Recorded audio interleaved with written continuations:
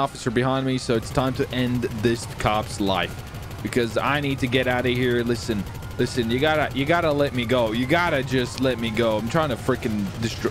Oh, you. That's not, that's not. They, oh,